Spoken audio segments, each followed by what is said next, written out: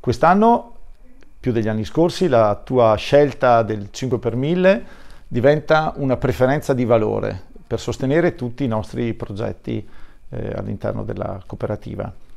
Quindi continua a sostenerci, coinvolgi chi conosci che faccia la stessa cosa. Grazie.